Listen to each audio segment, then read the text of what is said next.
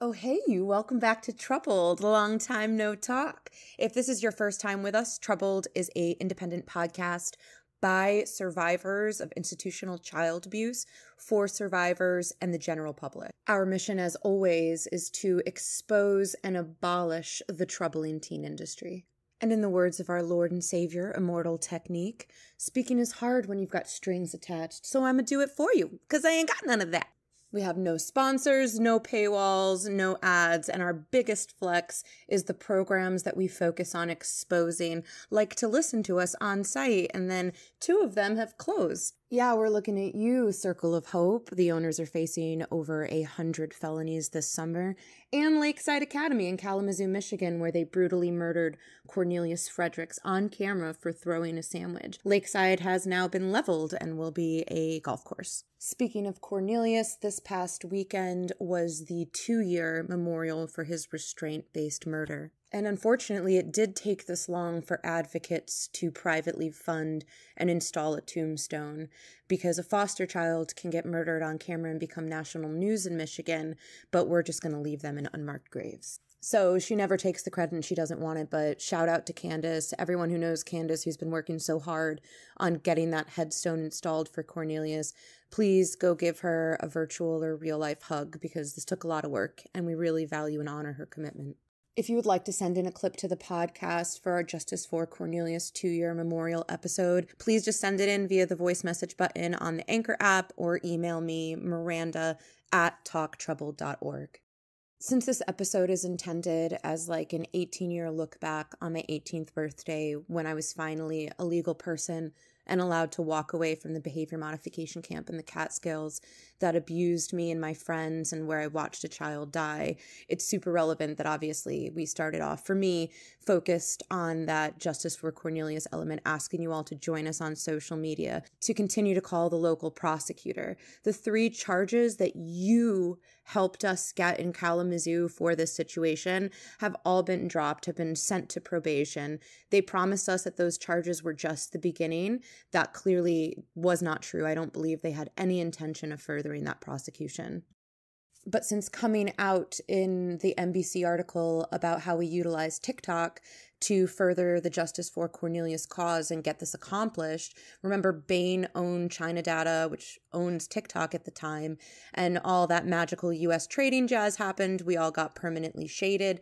And unfortunately, the public interest, that virality and pressure has completely dropped off. And that is all that works with small town America they chose to overwrite the day I was born, my birthday, with the day they murdered this child, which, as someone who watched a 16 year old boy die in my program during a meal, I just, I'm making everything about me. Look at Miranda making everything about her. Hopefully, that narcissistic tendency, if you will, is contagious, and all of the rest of you will make Justice for Cornelius about you as well whether you recognize yourself in corn, whether you recognize another child that you went through the program in corn, or whether you're a parent and you recognize him as our child. Remember that when taxpayers fund foster care children going into residential programs, and when those tax dollars fund the abuse of these children, and in this case, the murder of these children, we are all complicit and culpable. So, if you're like me and don't appreciate being used to systemically target and dismantle the families in your community, reminder 53% of Black families will be investigated and infiltrated by CPS.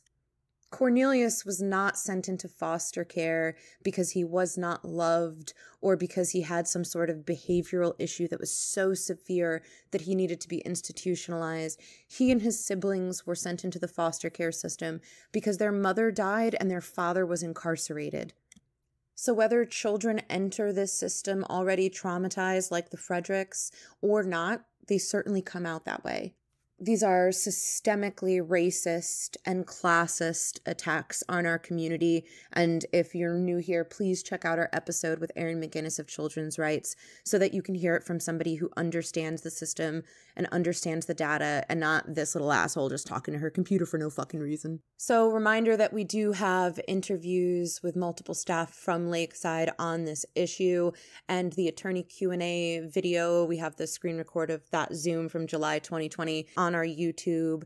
And if you know anything, if you were a student or staff or someone affiliated with Lakeside or her new corn at Wolverine and you want to talk or you want to get involved in activism, please reach out to us.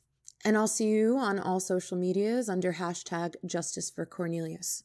So, moving on, obviously, there is a trigger warning and content warning on everything we do as a podcast or as a nonprofit or just me in general. Anything I say, whether we're in person at Six Flags, in the pews of the church, or on social media, just brand that trigger warning right across my forehead. That being said, for survivors, especially those from my own alma mater, the family, the Family Foundation School, FFS, Allynwood Academy, all the same place, uh, just different rebrandings to avoid everybody knowing how abusive they are.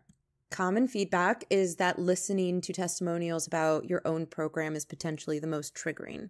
So, in that vein, I don't think we'll be traveling back in time too much today. If you're interested in how FFS structured, we have about nine survivors from the family that are on the podcast over the course of the three seasons. And there's at least 17 episodes focused on FFS because I'm not obsessed or anything. What I'd like to focus on today is what I've processed from the last 18 years, although most of it has been processed within the last couple. And while I don't currently have access to mental health support, which is something that is a systemic and chronic issue in our community, I wanted to take this time to go over what I did learn when I did have access. The trauma therapist that I had access to last in Texas was absolutely excellent. And there's a few post its of gold nuggets that I continue to utilize in my day to day life. And I just wanted to share some of those with you.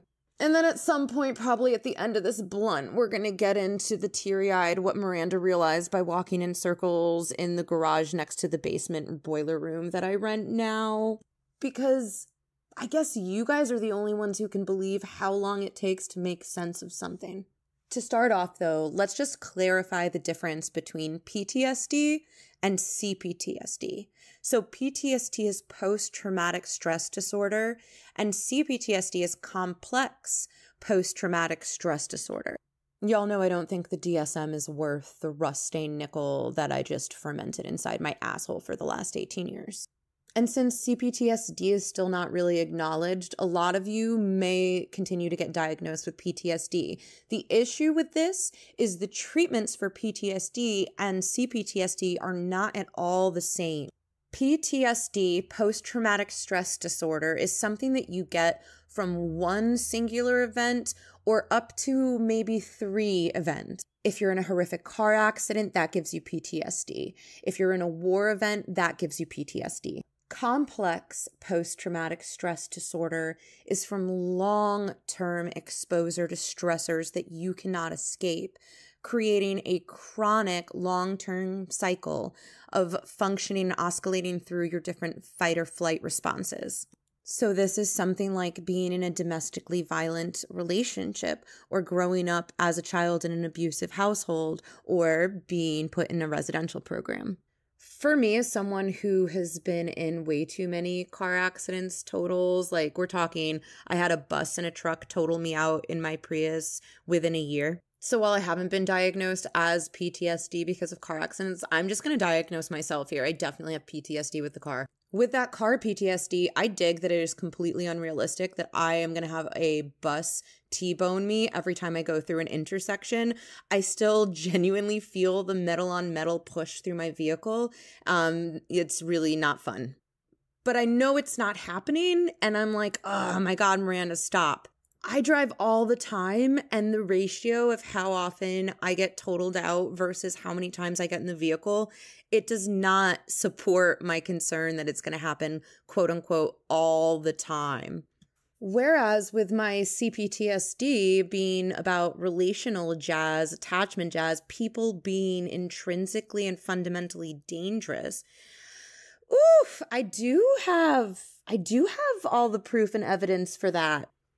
And the red flags that I get from people related to that more often than not, my intuition's correct. More often than not, if I get a red flag from certain recognizable behaviors like love bombing or flattery or something like that, at the end of the day, a year later, 18 months later, it did manifest that way. That person wasn't being genuine with me. They were exploiting me. They were attempting to manipulate my perception of the situation and them and more specifically regarding my institutionalization and therefore chronic distrust of the system, it didn't stop at the troubled teen industry for me. I have personally had CPS weaponized against me by people who pretended to be my friends, thus incorporating the system being weaponized against me by a peer on peer attack therapy. So while when I'm driving down the road on a sunny day, magically imagining a truck T-boning through my reality, it's a totally realistic approach for me to be like, Miranda, that's the past. That's not happening now. That's not going to happen right now. Chill the fuck out it is not realistic. And I found that it is self gaslighting for me to try to minimize my intuition and my feedback that I'm getting from individuals in my real life. But yet, that's what I do. I see red flags. I witness people exhibiting certain behaviors and interacting with others or myself in a specific way. And then I minimize and gaslight my interpretation of the experience based on oh, well, that's happened to you so much that that's what you see now, instead of recognizing, well, honey, we've been through this for like 20 years. Maybe we're an expert here.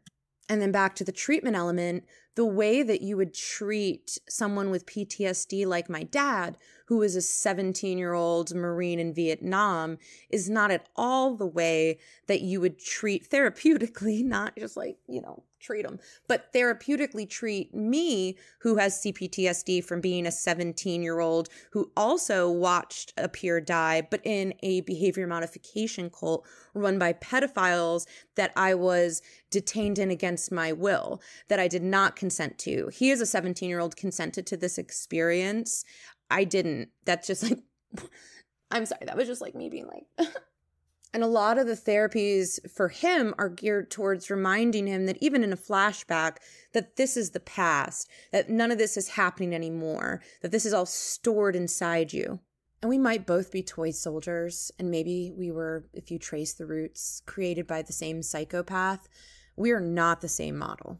Our dads who served in the military were designed for the infantry. We're fucking psyops, you guys. We're COINTELPRO. Their mission ended decades ago, and ours never will. And so, while the priority is to recenter them in linear time and remind people with PTSD that the moment they are existing in and that is haunting them is in the past and will never happen again, everything that happened to us is really still happening. The threat that we could be institutionalized against our will is a real threat. I have personally seen it happen to far too many survivors over the last year alone. The potential that someone you think is your friend could be your enemy and could be deliberately weaponized against you is a very real threat. People have proven to us time and time again that this is part of the duality of humanity. So, this leads us to the first helpful tactic that I really found in therapy. And I want to share that with you and let me know if it works for you. I'd love, I'd love the feedback. Firstly, though, I want to validate that getting into therapy after quote unquote therapy was used on you in behavior modification. It wasn't therapy at all. It's complete and absolute torture. But I mean, if you do look into the history, you see that a lot of therapies that governments and the medical community thought were excellent are just complete and utter torture, like electroshock therapy and lobotomizing and just the whole diagnosis of hysteria So, to further drop that in an echo chamber, I personally did not seek therapy until my program, The Family School, wound up on the cover of the New York Times. That first article, entitled It's Like Who's Next An Alarming Death Rate at a Troubled Teen Boarding School in New York, was an incredible trigger for me. If you've noticed, I have not allowed media to quote me except for one of the NBC articles with Tyler Kingkade because he's amazing. That is a personal boundary that I've decided to change, and I will link the Daily Mail article in the show notes below that talks about Agape and Circle of Hope, but also mentions the podcast and the family school and us. Speaking of, if you're a survivor of the family school, staff, a parent, yada yada, and you do want to participate in an upcoming article specifically about FFS, please let us know and we'll connect you with that journalist. But at the time that that original New York Times article was coming out, I wasn't quote unquote out of the closet, if you will, with my advocacy. Fuck, I wasn't even out of the closet with myself. And so while I communicated with the journalist, I did not participate in that article publicly.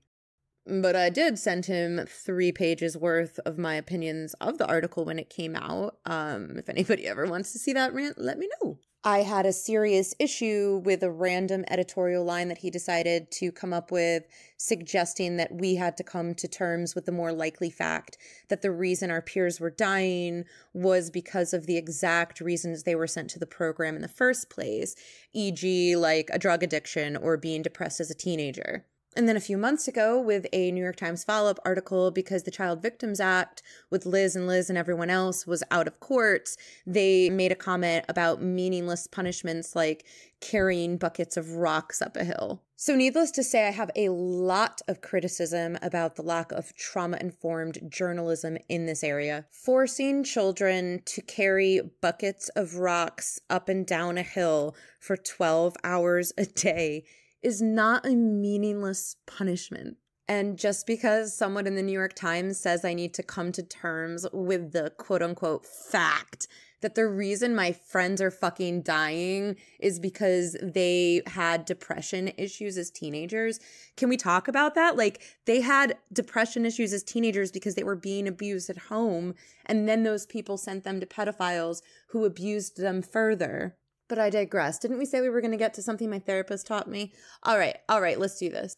Also, just a little disclaimer I am in absolutely no position to recommend or endorse any specific modality of mental health therapy. So, a couple of these tactics, because my therapist was a CBT, DBT therapist, are within usually dialectical behavior therapy there is a ton of criticism for using DBT on people who are survivors of either a narcissistic relationship or a high control group. I personally find this criticism to be incredibly valid, as the core foundation of dialectical behavior therapy is to utilize opposites, opposite thoughts, and opposite like reactions and actions.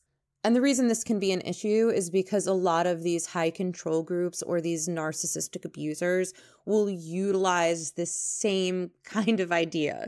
Not that they're using DBT per se, but there's a lot of using opposite repetitive behaviors. So, like as an example, when I was at the family school, considered to be a chronically defiant contrarian, I was put on a sanction called Yes, Thank You what this essentially meant was that every response that I had had to be, yes, thank you. So I'm neurodivergent and I love to clarify things. Clarifying isn't allowed. if you've personally met a DBT therapist and they forced you into some sort of perpetual affirmation, like a yes, thank you, I'm pretty confident you should report that to your state board. And uh, I was on yes, thank you for pretty much the entirety of my stay at the family school because I did not comply. But per the whole 18 year review, I do default use yes, thank you in my real life when agreeing with someone I don't agree with to move the conversation forward. It has become my default passive aggressive defiant response, if you will. Example Miranda, Everything you said seems fine. It's just your tone that's the problem. Cue to Miranda. Yes, thank you. So I just wanted to put that out there because it's very possible that somebody listening to this has had DBT utilized on them in this way and are part of the community that criticize this as something to be used with people who have complex post traumatic stress from a high control group situation. And like I'd mentioned, whereas with PTSD, you can focus on this specific event and heal the responses to that specific event.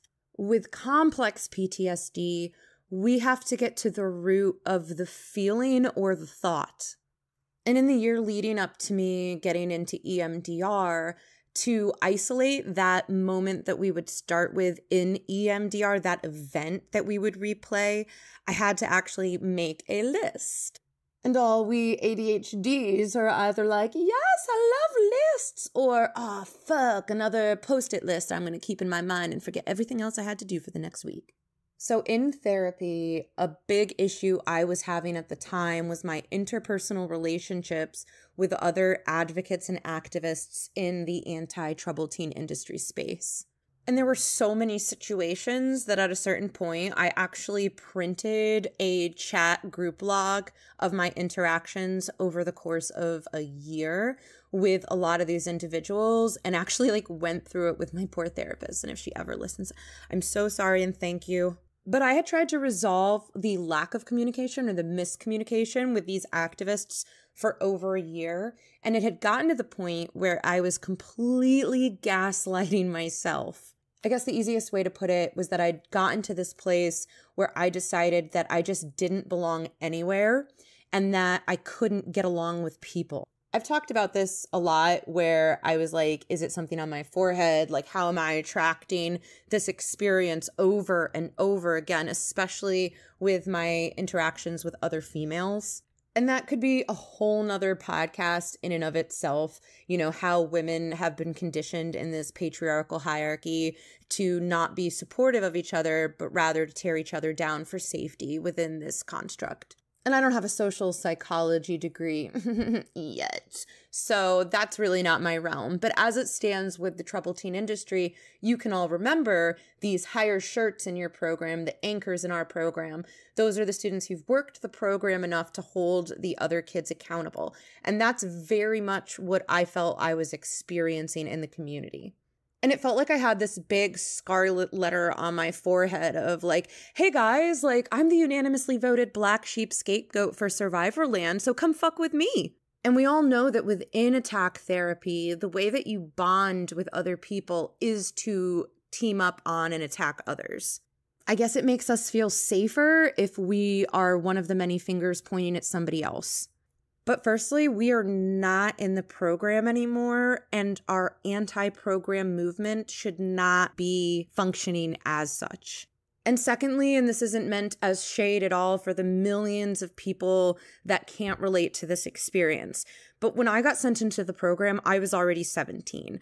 I was already very much who I was. And I was the kid who grew up reading books about young girls like myself who were thrown into institutions, into asylums, assaulted in every possible way. And usually at the end, they either disassociated, I never promised you a rose garden, or they get lobotomized. Will there ever be a morning? The Frances Farmer story, or they die, the virgin suicides. And so maybe I blamed myself for manifesting this experience because those were the only characters in literature that I felt I could really relate to. And as a young writer, I put myself in that book. I'd read all the Orwell and Dostoevsky and all that shit in middle school, right? And remember, I grew up in cults my whole life. So Catholicism, altar serving, CCD teaching, Catholic all girl high school level, hello. And for the many of you in the 90s who grew up in Amway, I went to all the seminars, to Jaeger, youth camp, leadership camp, all that shit.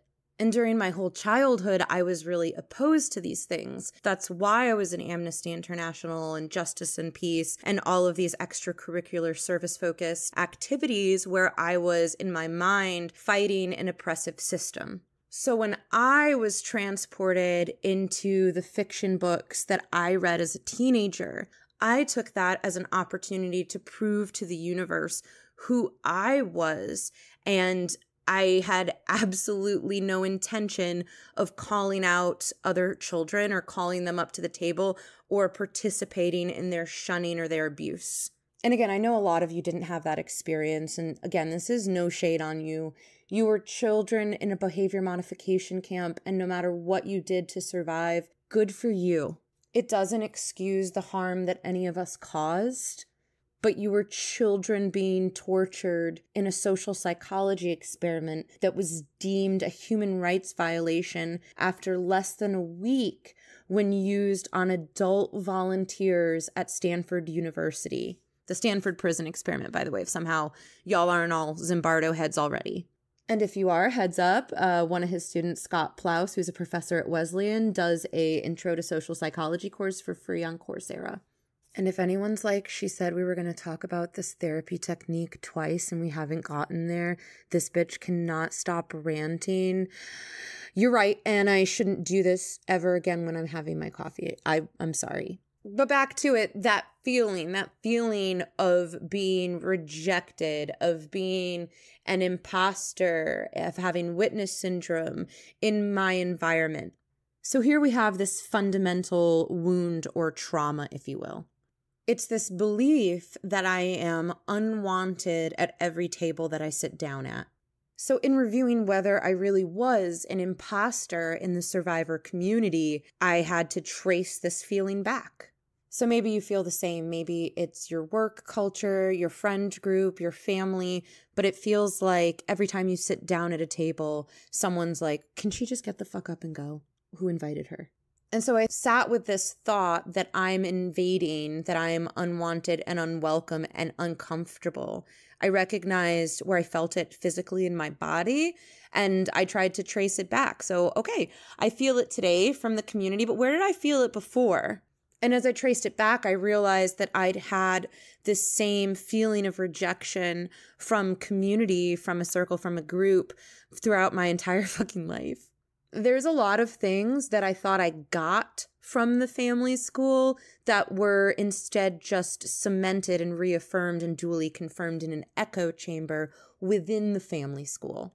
And then there are things like responding with yes, thank you as my only pre approved way to be passive aggressively defiant vocally and not speaking to people while I'm using the toilet and bathroom stall. Also, something that's definitely from the family schools the moment my alarm goes off, my feet are on the floor and I stand up that's a longer story. It's because majority, maybe 75% or more of the time, when I become conscious in my body, I believe I'm in the bunk in that trailer. And and it's a majority of my life it's been like that. That's why we're having this 18 year look back this last week has been really amazing. I've been waking up and, you know, not bleeding out my asshole for the first couple hours of the day and, you know, fun stuff like that. And I was like, what has fundamentally changed? And really, what it's been is I've had multiple days in a row where I woke up and did not think I was back at the family. So I wasn't waking up in that absolute traumatized fear and I don't want to spend too much time on this, but I don't know how many others this affects. I am like a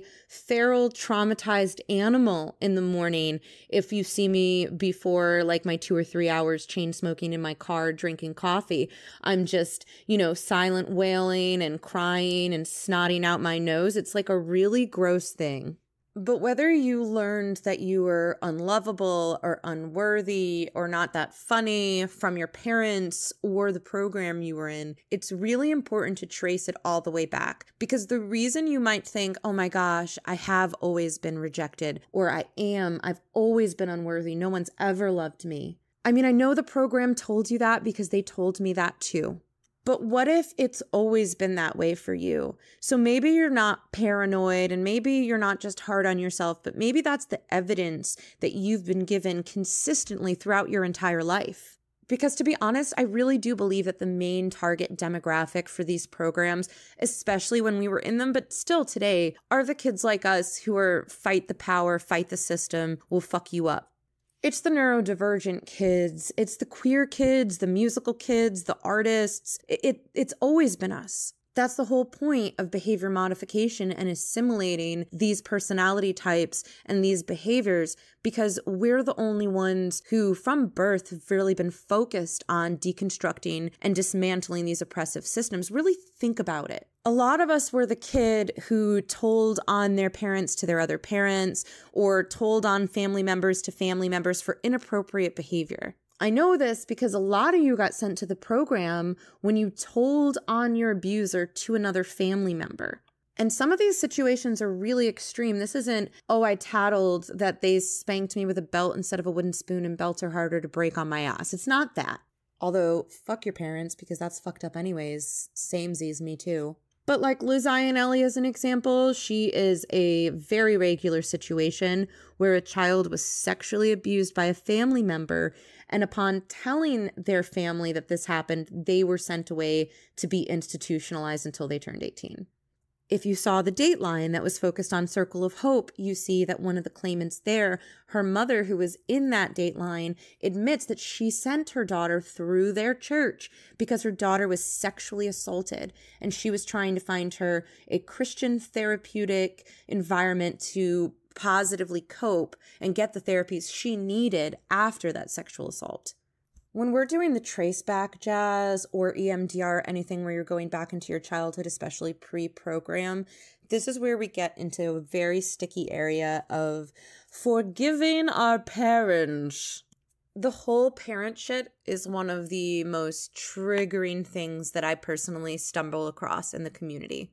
I don't know about y'all, but when they have that whole like, parents breaking code silence group like a year or so ago, I was like, oh no. And while parents have contacted us and contact us actually pretty regularly, um, that's like not my sphere. I tend to forward that to somebody else who's less of an asshole for parents. The only parents that I personally deal with through the nonprofit and through the podcast are parents whose children were taken away and sent into the program through family court and against their will.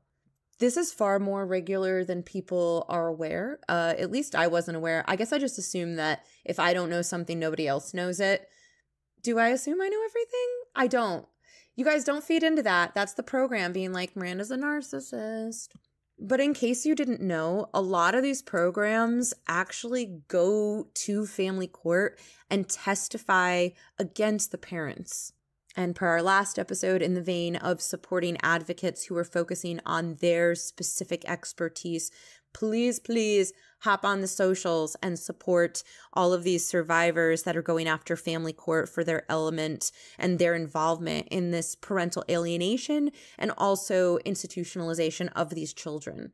You would not believe how often we get parents contacting us because they were in a domestically violent situation that was verified in the courts, and then their abuser was able to get their child removed from them because of the DV. This is totally insane. But I've personally reviewed court documents where TTI programs that y'all all know, like big ones, big ones, went to family court and said so and so parent is unfit. And so their child has to stay at our behavior modification facility. And to be super clear, if that happens in at least all the cases where I've spoken with the parents, those parents now being non custodial are not legally even allowed to have contact with their children until they age out. I see this tactic specifically focused at domestic violence survivors. And then also when it comes to like which target of children are involved in this. It's usually for again for the limited cases I've seen, it's neurodivergent children and especially children with autism or children with mental health issues like bipolar or being diagnosed with BPD, which you all know in my opinion, if you're diagnosing a 16-year-old fucking child with BPD, you should lose your license. Far too many survivors in our community have been diagnosed with BPD I myself at 16 have possible borderline personality disorder on my diagnosis. The doctor that gave me that was found guilty of overdiagnosing these kinds of things so that he could get this, refer them into institutionalized residential long-term care of which he was getting kickbacks. of course, of course that of course that was my doctor, right? But my main concern, and I think this is the main critique that you see out there of hyperdiagnosing BPD, especially over misdiagnosing it in women with complex post traumatic stress disorder, by the way, is that if you Google it or if you even go see a real therapist, the diagnosis, the prognosis for BPD is really, really not good. Most of my friends that are diagnosed with BPD and are survivors were straight up flat out told by therapists that they would probably kill themselves. I'm really not sure how that's ethical in the first place. I guess it's falling under the conversation of like being transparent that unfortunately a majority of people who are diagnosed with BPD do not survive. So then insert Miranda's question of whether perhaps the reason that so many people who are diagnosed with BPD are not surviving is because their therapists are telling them that they will most likely kill themselves at the end of the day anyways, and then they're dropping out of therapy. Or maybe they're just like, why wait? Because that's a very real conversation that I had with a survivor I know where they're like, well, if I'm going to kill myself at the end of the day, why not just get it over with now? So, yeah, stop diagnosing teenagers with things like BPD, which you really can't diagnose that in a teenager. Come on, you guys. Like, I don't have a degree, but if I understand that, so should you. And to all the parents that keep hitting us up on social media, being like, oh, I saw what you said about this facility, but like my kid really needs residential. Which facility do you recommend? Oh, I just need a copy paste. We don't. We don't recommend any facility. Number one, most of what y'all are sending your kids off to residential for is completely fucking bogus. Y'all need to stop abdicating parental responsibility when your kids become teenagers. Babies become teenagers. Being a teenager is incredibly hard. It is an incredibly hard time to be a human you are discovering who you are separate from your family, your friend group, and your community by testing boundaries and trying new things. And you're dealing with this while also having this crazy hormonal, like fucking drug trip. So, can you guys be nicer to teenagers? They're awesome. They're awesome humans. And a majority, as we know, of kids that are sent into residential treatment therapy, especially the ones who are left there to age out, are adopted children. And so, Becky, I'm talking to you, all you waspy white Anglo Saxon Protestant white savior complex missionary motherfuckers going around collecting kids that are not yours from communities that need our support instead of being deliberately and directly dismantled and targeted by these racist and classic fucking policies while you parade around on your fucking YouTube vlog being like, oh my God, so we adopted this autistic, traumatized special needs child from the Philippines aren't we heroes? So, no, Becky, you're not a fucking hero. And you're especially not a hero eight years later, where you're publicly trading that child on a Facebook group because you can't deal with autism or you can't deal with his special needs. All of those factors that you voluntarily signed up for with full knowledge and consent upon adopting them, which is not the same thing when you biologically have a child and oh surprise we didn't know we were dealing with x y you signed up for that you signed up for that for social media clout you fucking psycho. But outside of you all need to just stop outsourcing parenting to pedophiles there's this other angle. There's this thing called science and per science we've already determined that boarding school is potentially traumatic. And i just want to be super clear boarding school like Choate. Again, not residential treatment therapy, but just a fancy schmancy $200,000 a year boarding school is potentially traumatic. It isn't intrinsically traumatic like conversion therapy. I mean, like, good luck finding me someone who got out of conversion therapy and isn't traumatized. If you're that person, again, please email me. I desperately want to talk to you. But just the very act of removing a child from their peer group and their support system and, you know, just their familiar environment and sending them into a situation where technically they're isolated from everything and everyone that they already know, that's potentially traumatic. So when you already have a child who is traumatized or neurodiverse or who has special needs of some kind, it's absolutely imperative that they remain within their support system and with full unfettered access to that. So, for the parents who are like, well, what should I do then? Here's the answer. If your child is in a serious mental health crisis or in the throes of addiction, it's absolutely important to recognize that whatever symptoms you're seeing are just that they're symptoms. In order to effectively deal with a child with trauma, the entire family must be integrated into that treatment model. So the child needs a trauma informed therapist who uses real, peer reviewed, scientifically supportive techniques. And this should include family therapy. Repeat, you need to go to therapy too.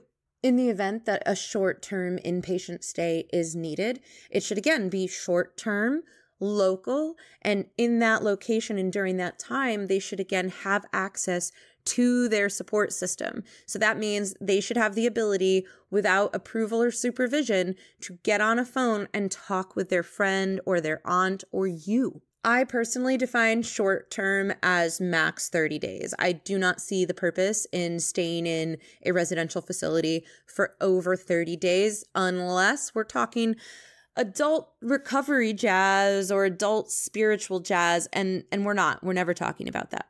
After this short inpatient stay, the child should have local wraparound services for as long as needed and with access to as many modalities as they want to try.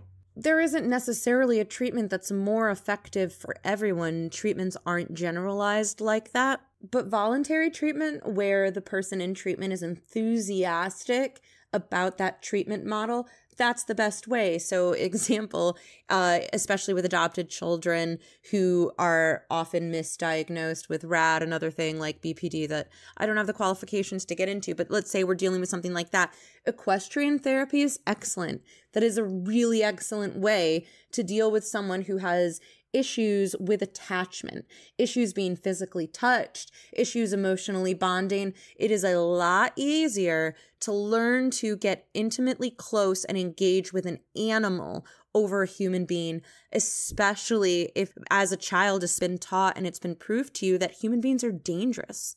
However, to double down, if that child is afraid of horses and you push that child too far too fast, this will just reaffirm this fear and it won't just affect horses, it will just affect trust in general. But most of us didn't get equestrian therapy. I love horses. I would have loved equestrian therapy, but I never would have liked it at Circle of Hope, which was a horse ranch that was a therapeutic Christian boarding school, because again, Boyd Householder was a predator. Loving animals meant that I personally avoided the golden retriever at the family school because the relationship that was being offered to children with this dog as a therapy was an abusive relationship. It was also very abusive with the piglets at the family school. My peers were forced to raise them as infants, and then they would break their legs and toss them into a back of the truck, take them to slaughter, bring them back. You would be forced to eat the pig you'd raised, and then forced to feed that pig that you'd just raised to the new piglets that you were raising. And so, no, Miranda wasn't like, oh my God, let me raise pigs. That'll be therapeutic. And if your parents put you in that kind of an experience, I can see why you get super triggered to see parents in general involved in the movement or to have people be like, you need to forgive your parents and move on. It's for you. Um, I think it's for them actually. I think there's a lot of people who would feel a lot more comfortable if we would just shut the fuck up and move on. And I don't know about you, but I feel like we've given them enough of our silence, so I'm kind of done with that. And if there's a better word for what I'm about to describe, please let me know because I would like a better word for discussing forgiveness. I feel like forgiveness is a really loaded concept, especially for those of us who had been consistently and historically invalidated and were never allowed to have any source of autonomy or to stand up for ourselves those of you psychonauts out there know exactly what I'm talking about, but I'm not really sure how to convey it outside of psilocybin and DMT. Let me just break my own HIPAA and we'll use my EMDR exercise as an example. So, for six months, my EMDR sessions, literally once a week, was a three to four second memory from when I was about like nine years old. It was the moments between when my mother pulled my head back from the metal cart that she'd just smashed it into and when the car horn went off in our driveway. it was my play date and I had to go and pretend that I'd, I don't know, run into a door, that nothing had happened, and just cover up for the situation. I was concussed, vomited all over myself at the event, so they took me back to this kid's house early where he attempted to rape me. But none of that context was in my EMDR sessions for six months. It was strictly these moments. And long before I ever got to me in that moment, I focused a lot of my energy on the look on my mother's face of sheer terror and feeling sorry for her. Which I know sounds crazy, but just I was conditioned with narcissistic abuse by victim narcissist personalities to take responsibility when I pissed a parent off and they hurt me. This was something that was duly confirmed at the family school. And I didn't realize that I was still doing it, that I was putting someone else's victimhood or trauma or something else above my own until I'd spent six months in this moment with a therapist. I've been conditioned to take responsibility for the way that others treat me and the way that they react to my existence in general my whole life. And then by the time I was 17 and I was sent into behavior modification, my entire reality duly confirmed this. And on the outside, sure, I rejected and I was like, fuck you guys, you don't fucking know me, you're wrong, you're blah. But I'm here to tell you 18 years later that I was wrong about how much I took home from that party months before I ever sympathized with the little girl that I was in that EMDR moment, which reminder, an hour a week for six months. I was focused more on deconstructing the intergenerational trauma in my family line and why my mother was doing the best she could with what she had inherited.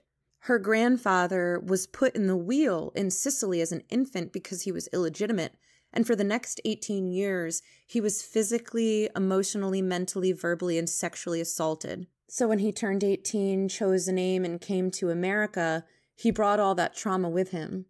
Thus, his son, my grandfather, first generation Sicilian American, was an alcoholic with a gambling addiction who was physically, verbally, mentally, and emotionally abusive to my beloved grandmother, my mother, and my aunts, and all their foster kids. He'd grown up in the backwoods of Virginia. His dad was a coal miner who died of the black lung, and they were just trying to fit in with white privilege and white supremacy and be part of the American culture because, for the record, that's not who Sicilians were at that time.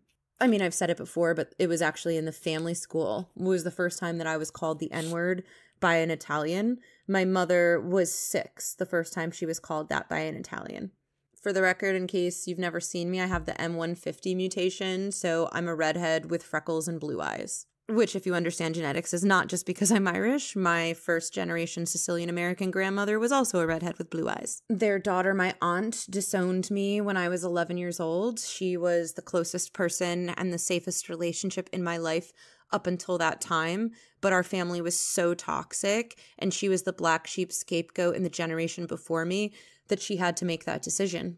It was an incredibly traumatic decision. And I can understand where these people were coming from to make these decisions in passing down intergenerational trauma that they hadn't healed for themselves. But it took a really long time, as in I'm in that right now, where I'm just finally giving myself permission and the space to get fucking pissed for it because in my weird fucking purist mind, I'm not allowed to hold them responsible for the way that intergenerational trauma played out in our family.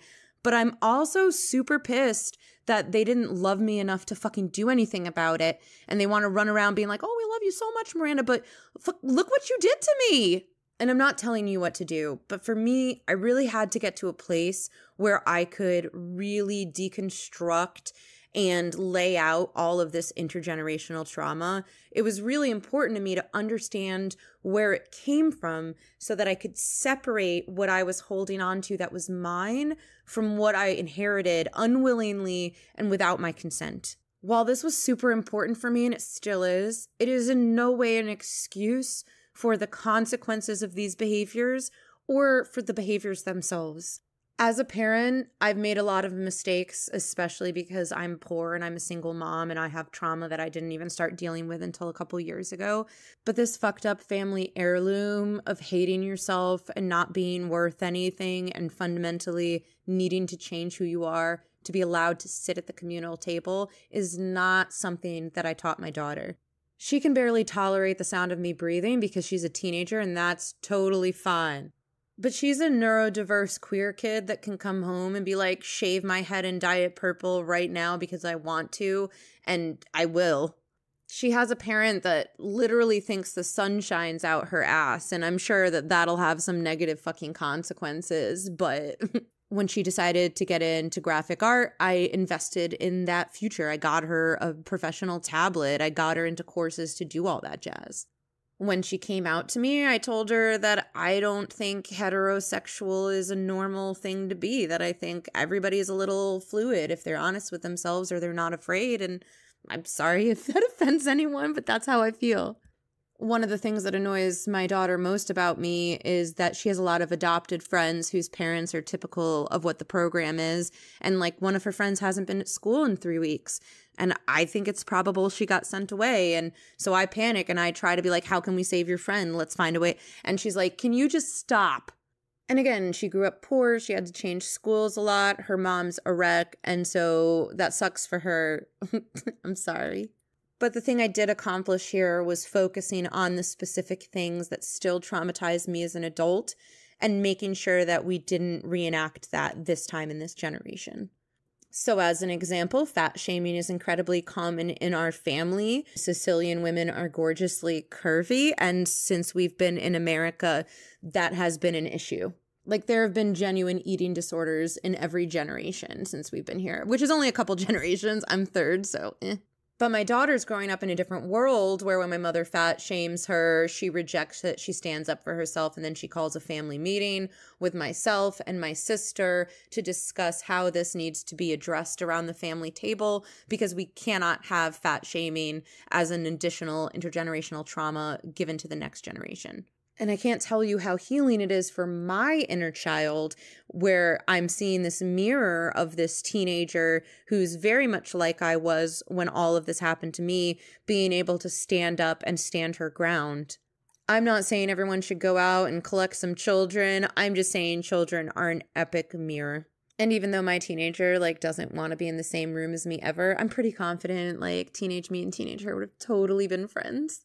And so, since I'm operating from this perspective of trying to avoid getting cut off by my kid, I definitely recognize that that is a realistic and valid response to the abuse we've all been through. In fact, from what I've learned about our trauma, I'm not sure that you can heal the relationship if that's your intention while maintaining that relationship while you heal people and parents are just too damn defensive. They have a really hard time acknowledging what they put you through without turning it into a complete self defense. I wasn't able to get through a family holiday for years without them bringing up the family school until I moved across the country, literally. I had to separate myself from my family unit and the environment that I'd grown up in or spent most of my life in in order to really get to the work of healing myself. You do not need to be accessible to anyone if what you're doing is trying to save your own life.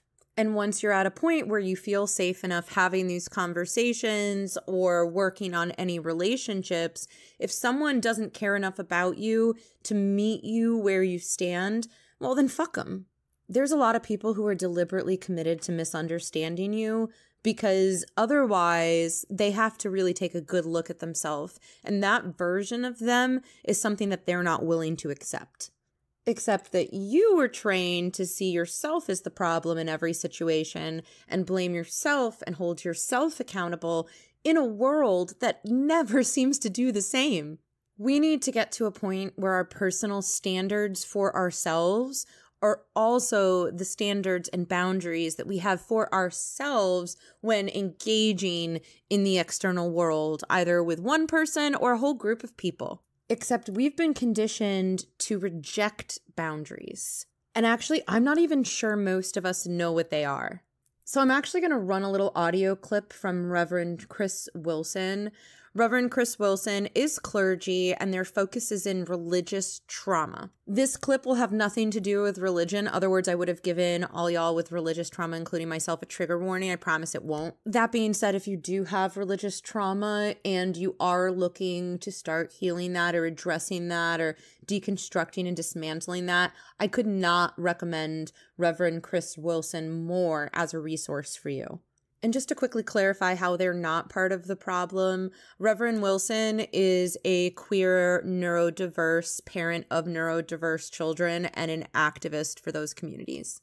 I've learned more about my personal neurodivergence and about my own sexuality from their content, and so I'm, I'm a huge fan. They'll be on the podcast very soon. But before we move forward on boundaries, here's a clip from the Reverend explaining exactly what those are because a lot of people, including myself, have it wrong. All right, to you, Rev. Let's talk about the difference between boundaries and rules.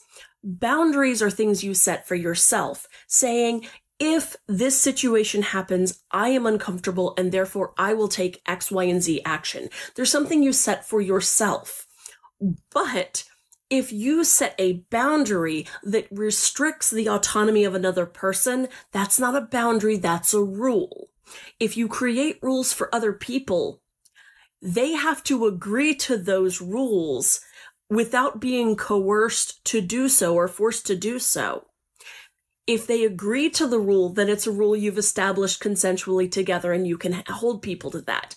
Those things can be renegotiated in any relationship.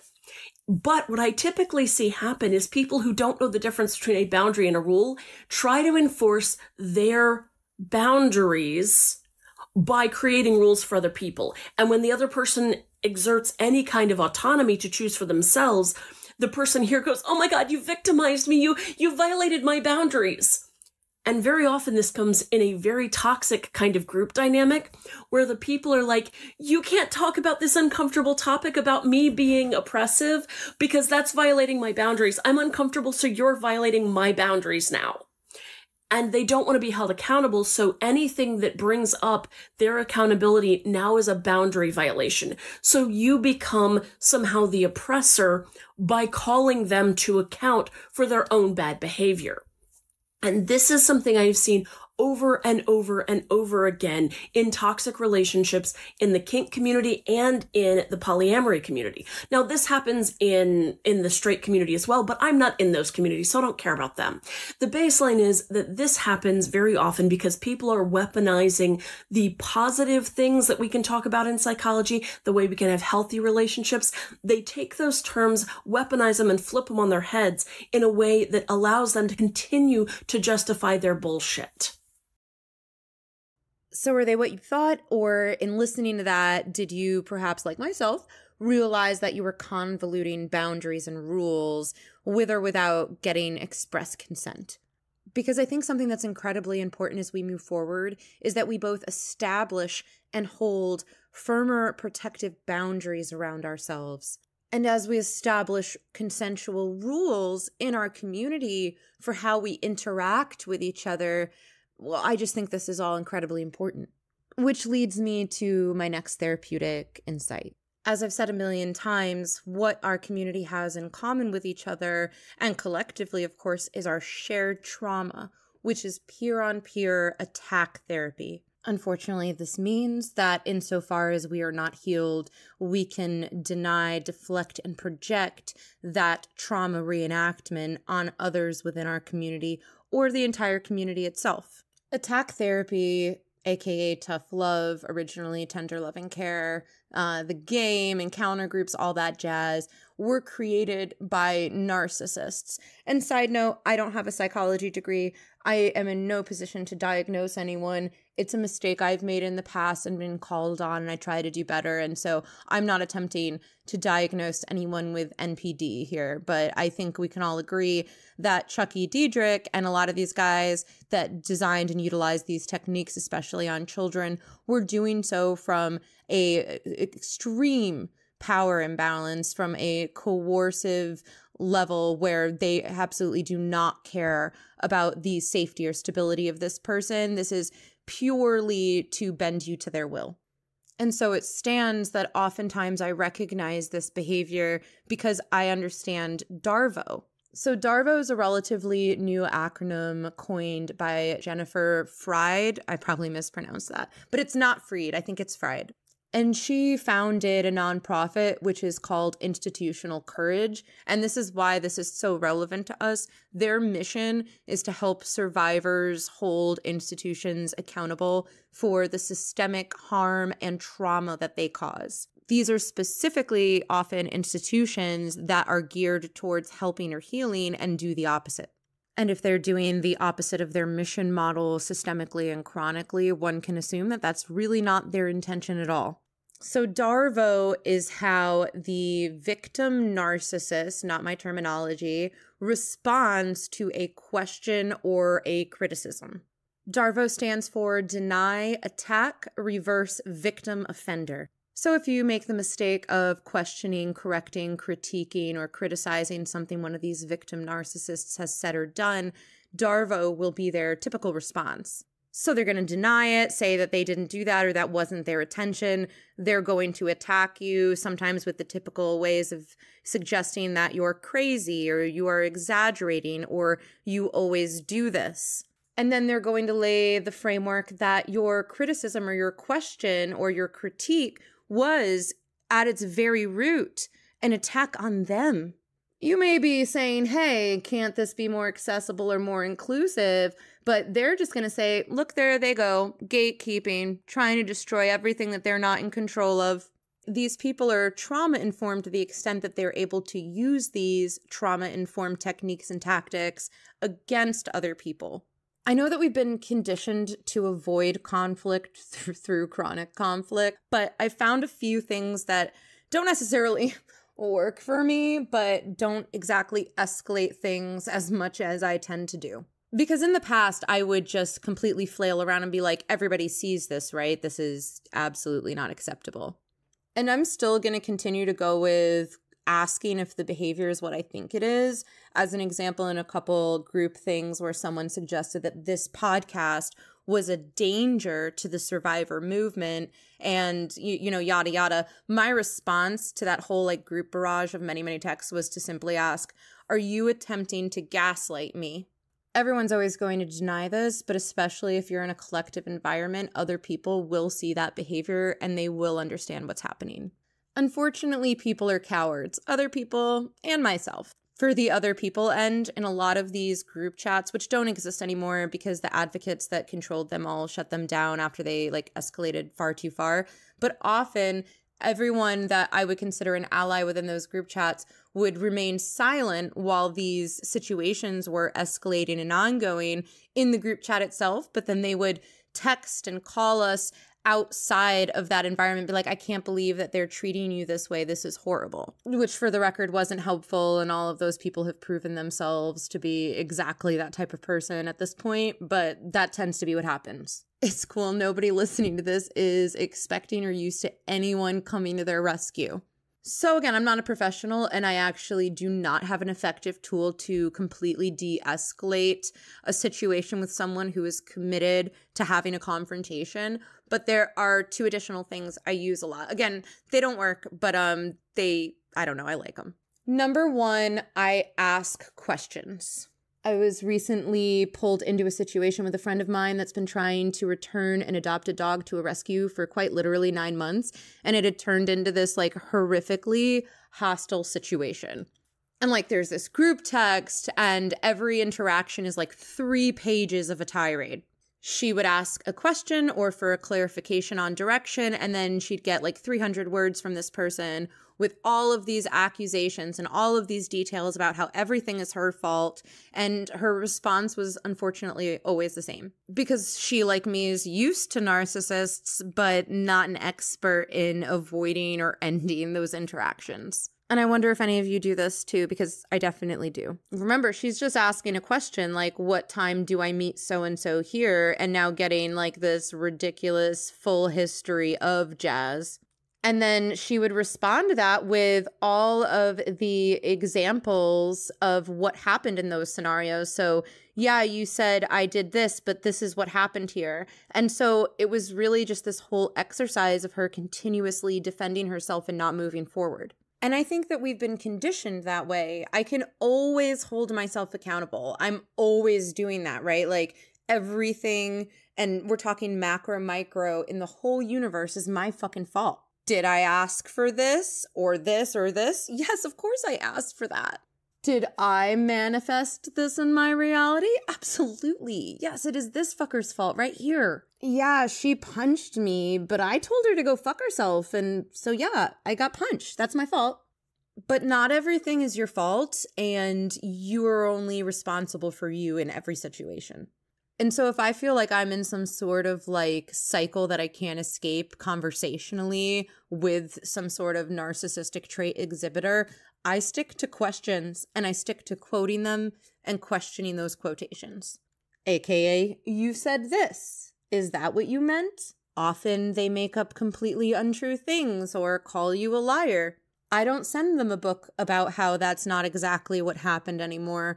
I send them a literal screenshot of the truth using my friend's dog rescue debacle example again. She was like, I've been asking for your help rehoming this animal since July. The rescue said, No, you have not. You are a liar. I told her to send the screenshot of her original text messages in July. The reason I say that these aren't successful in de escalating or escaping one of these DARVO esque situations is because when you do ask a question or you do give proof back to this person who's attempting to gaslight and distort your reality, especially if they're trying to do that in front of another person, an audience, if you will, someone that would then have evidence of this, their response isn't de escalation when you prove them wrong. I mean, think about it from their perspective. They're taking that as an attack on their reality just like they're deliberately attempting to distort and morph your sense of reality and force you by any means necessary to validate their distortion, you clarifying and confirming that that reality isn't real is obviously a fundamental issue for them. This is cognitive dissonance. If you're innocent, in this case, you're just blowing the wrap off their bullshit. If anybody has a way to effectively escape or resolve these situations, Again, my email is miranda at talktrouble.org. But that's just kind of what I stick to because we're in the era of the screenshot wall of hate land where people are like, look at everything that these people said or did to me out of context. So I think it's better off that it's just screenshots of them arguing with themselves. Something that I do find to be helpful in communicating with people who don't really want to communicate with you, though, is the dear man technique. Again, this is another DBT technique, so if we're not into DBT, just totally skip ahead. Because, reminder, I wound up using at least a year of therapy focused on how I could navigate the survivor community and dealing with all of these experiences of feeling attacked and excluded from that community. And at this point, my therapist and I had gone through like all of these chat logs with these specific individuals or in the group chats to kind of get a realistic understanding of, of what was actually going on here. And turns out, per usual, that I was minimizing the experience and gaslighting myself because I just didn't know how to deal with the fact that this was a toxic experience.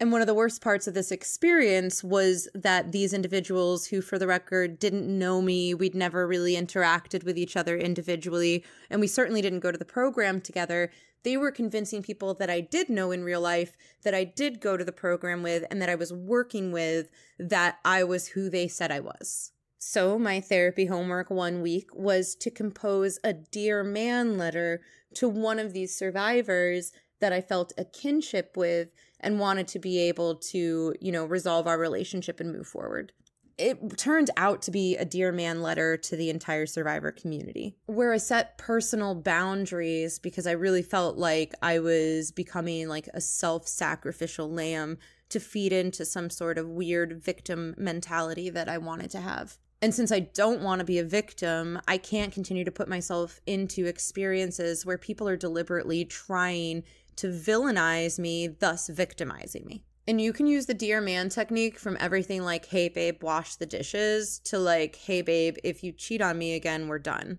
So definitely go check out some of the worksheets and some of the cute videos online. I was going to pull an audio clip, but all of them would include some program lingo that I wasn't totally comfortable with, so I didn't. But the D is for describe. So you describe the situation as concisely and objectively as possible. Your goal here is to specifically clarify the situation and your ask, but without causing the other person to become defensive. Now, their reaction and response to you is not your responsibility, but that's why you're supposed to be mindful because if you're deliberately just picking fights with people, then you're not serious. The E is for express. This is the I statements. This is how you feel about it. Like, I'm setting a boundary. I need you to take out the trash Tuesday night, is your D your express is like when I wake up Wednesday morning and the trash didn't get taken away, I get stressed out. I'm stressed out by having nowhere to put our trash all week. When you go out and fuck the stripper, like I get jealous. I don't think you're supposed to use dear man in like expressly toxic situations. Then the A is for assert. I often see people suggesting this should actually be formed in a question. I think in general, when you're dealing with people, questions is best. Getting people to like clarify like what they're actually talking about or where they actually stand on something is so important. Not just because I fill in so much of my own assumptions, but you know, yeah, maybe that's it. So like, will you take the trash out now? Like dead ass, that could be your A for assert. Like, will you do it now? And then if the person isn't immediately like, totally, I'll go take out the trash, then we're at the R in dear, which is just reinforce. You're just going to reinforce and reassert and go through those steps. And you're going to do this utilizing the MAN acronym M mindfulness. As we said, your goal here is communication. Your goal is to effectively resolve whatever this is. So, again, obviously, this is not for communications where we are committed to misunderstanding each other and to having further conflict.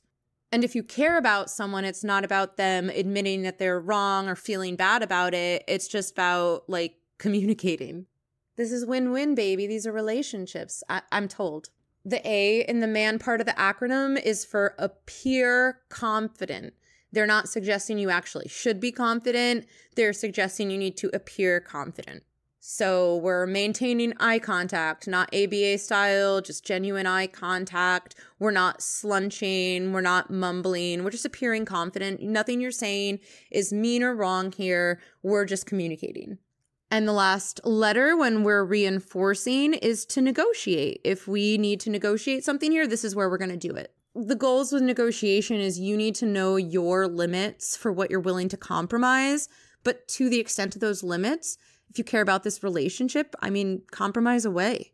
I find when I'm making a bunch of lists for my Dear Man letters that I can really deconstruct what's important to me and what's a priority here, and then where I'm having an unrealistic expectation. Or, like with the M for mindfulness, sometimes I notice that I don't actually want to resolve this. I just want them to admit that they're wrong and they fucked up. And honestly, at that point, we come back to the boundaries and rules. You know, if this relationship is unhealthy in this way, then I might not need to be in this relationship.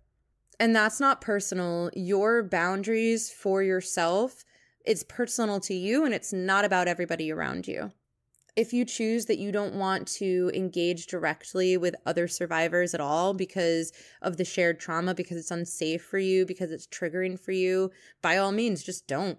There's a lot of people that don't engage with survivors from their own program. I know that that is the most triggering for me personally. So if that's uncomfortable for you, just don't put yourself through anything you're not comfortable with. Which brings us to our last point, which y'all know me, it could be another hour. Set those egg timers, y'all. Let's do this it is so important for us to recognize the difference between what we want out of life in ourselves or in a relationship versus our trauma. Since quarantine, isolation has become an experience that's more relatable to the masses. But a ton of trauma survivors, especially like ourselves, tend to isolate for different reasons. We have receipts a mile long on why the outside world and everyone in it is incredibly dangerous. And you're not wrong. That's totally true. Hop on Twitter, look at the world. It is a fucking dumpster fire out there. But since this is a one way conversation, joke's on you, uh, let's take a non consensual rom com ride for a second. Let's look at love, shall we? Successful marriages or long term companionship in our community is an exception, not the rule. Now, if you've heard Wes Good's episode on the podcast, Wes Good, uh, the singer for Dead Wolf, he was from the family school. He was in Family 3, but after I was there. So if you heard that one, you know that I'm a huge dweeb for the love stories that lasted through and after the program. And then another Family Three survivor who was on the podcast, Laura, came back with her wife to have an episode that was really focused on how the program affects their relationship and how they communicate around it. Because I mean this, and not just because the science shows it with the ACEs or yada, yada, yada. I believe the most important thing you can do for you is to build one safe relationship based on the science behind the ACEs, the adverse childhood experiences. If you're unfamiliar, we have a 10 minute table topic breaking it down, so go check that out. But based on all that science that we've been gathering since the 90s, we know that there are two relationships with children that can directly combat the potential trauma of multiple ACEs. One of those, of course, being a safe relationship with an adult. This is an adult that validates them, finds worth in them, and shows them that self worth this relationship to some extent needs to be unconditional. Again, we never mean enably. We mean that love has no conditions. It's okay, you fucked up, we'll work through it. Like people make mistakes, dig it, but I don't love you because you're perfect. The other relationship that can do this for a child that's combating childhood trauma is a romantic relationship. So even if you grew up in a home that checked off way too many of the ACE factors, if your first romantic relationship was one that was genuine, like this person, you guys genuinely cared about each other, that has all the difference. And so we're going to make this all about me. Firstly, the only reason I got to the family school was because I had a fight with my high school boyfriend and thought I'd fucking show him and got in the car with my parents in the middle of the night for this alleged one month long, you know, evaluation period that, jokes on me, wasn't a month. These kinds of manipulative tactics were things I'd learned from my parents' relationship picking fights with my boyfriend in high school was again a reenactment of my parents' relationship because I believed that what love was was being willing to stay even after you had a huge fight. And so I was constantly putting people in my life in a position to leave me. I expected them to leave me. I expected them to reject me, and I wanted to give them every opportunity to do so. Anyways, after this month long review, they decide that I'm doing so well in this residential temporary facility that I would thrive under long term residential support. This is, of course, based on the comparison that I was a walking, talking dumpster fire prior to being dropped off here. At this original facility, I did have access to a phone. And so, in my conversations with people in my support system, one of my main concerns was my boyfriend. I was a 17 year old girl, and he was my first love and one of the first safe relationships that I had ever had. And so, yeah, that was really all that mattered to me. He wrote me a letter that I was not allowed to read. Girl, I didn't think that was going to choke me up. I remember getting that letter after I got out of the school. I've I never read it. But on the outside of the envelope, he promised to wait for me. And obviously, we were teenagers, so I forgive him. And while I was at the program, this was something that was regularly used on me, especially when they were slut shaming me, right?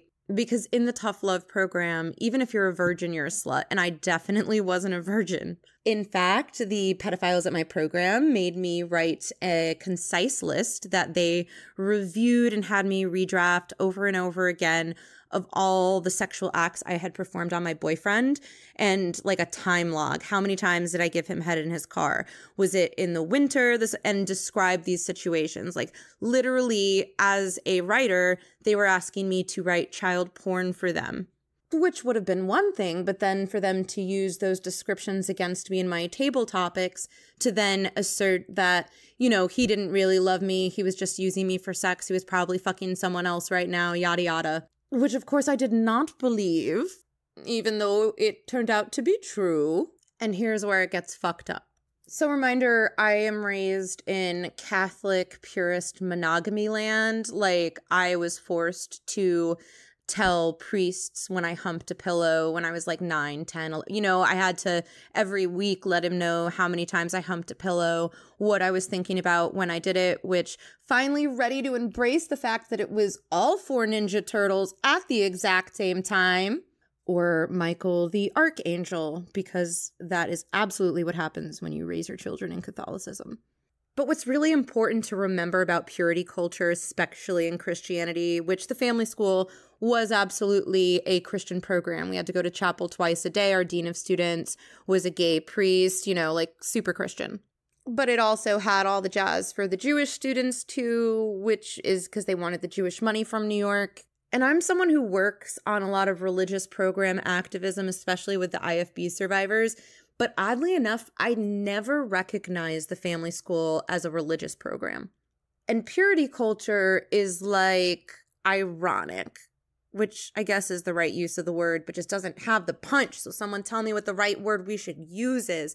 Because purity culture is always, in my experience, run by pedophiles. It's conditioning and grooming children to expect a level of normalcy when having completely sexually inappropriate conversations and experiences with an adult. And I'm not being a Sith here. I'm not dealing in absolutes. I'm not telling you guys that every single church in America or the world has some pedos running purity culture there. I'm just saying wherever you see purity culture, a pedo's not far behind. My program, like a lot of other people's programs, was incredibly heavy on purity culture. And this is a perfect example.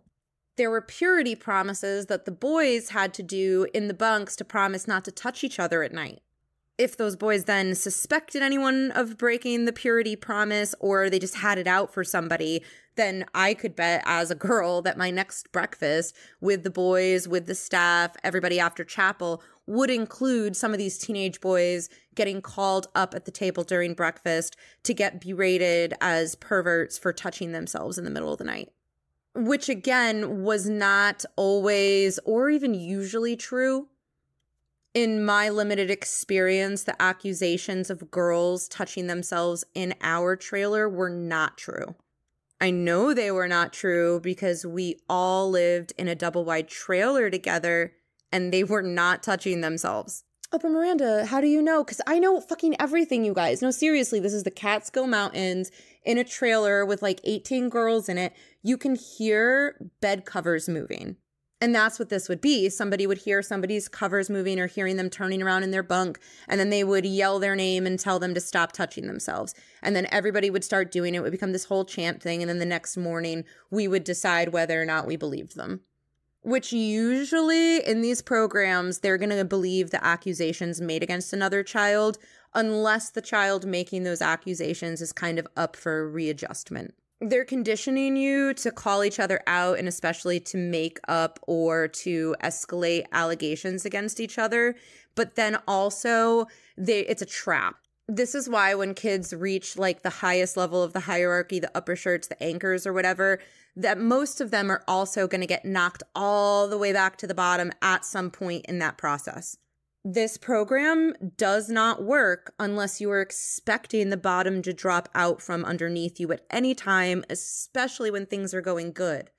I think in the It's Okay to Not Be Okay and Love Yourself Anyway episode with Laura, she does a really great job from a queer perspective of talking about the vicarious trauma of experiencing this kind of verbal sexual abuse during meals all the time, whether it was directed at heterosexual kids or not.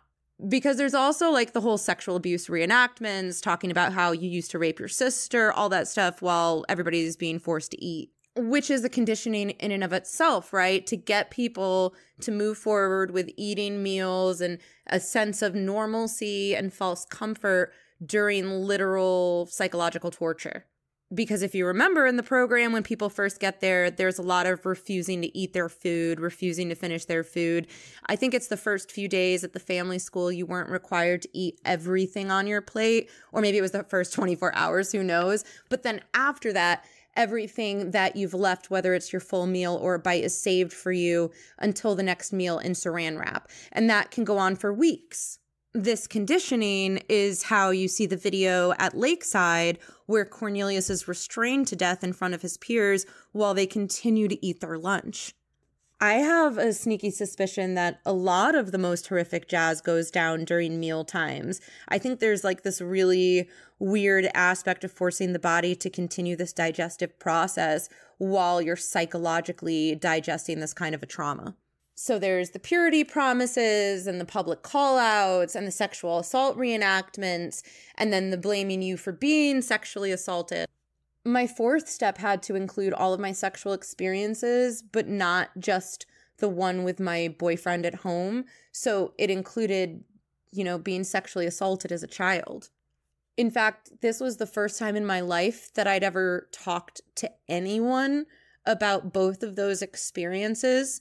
So to have both of those experiences blamed on me was, I, I still don't understand how that's affected me. What I did learn within the last couple years of therapy is that I did not consider myself a sexual assault survivor in any way, but according to my therapist, I guess I was molested. And it's a huge bummer that the first dude who ever touched my tits was my uncle. It's a bigger bummer that the first time I told anybody, it was used to paint me as a perverse, manipulative Jezebel. And I went through the incredible anxiety of having to rewrite that experience detail for detail over and over again, read it in front of my peers and in front of these pedophiles, and then present it to my parents. Which I guess is why I was 35 the first time I could hear someone when they told me that that was sexual assault like I was supporting the Me Too movement and did not relate to it personally. Which is also why when these situations would happen in my life again later, like one of the guys from IT department consistently calling me and jerking off on the phone, you know, or temp jobs where they made me wear skirts and stand on tables and dust things while they looked up my skirt and things like that. Why I never sued anybody or I never stood my ground. I just like ran away as quickly as possible because that was my fault. I asked for that, right? It's my responsibility that they fell for my Jezebel manipulation. So March 2003 comes around. My birthday is at the end of April, and I know I can finally legally walk then, but there are genuinely days where I consider if I'm going to stay. I mean, all of my friends and my boyfriend and everybody have moved on and forgotten about me, right? And if I walk, I'll be homeless. I'll have nowhere to go. I'll be stuck in Hancock, New York. I'll probably get trafficked like my friends did when they left. And I saw what happened to them when they came back. And once you're out of the crucible portion of the program, you know, the consistent work labor and heavy, heavy sanctions and all of that jazz, it's it's a total fucking trip.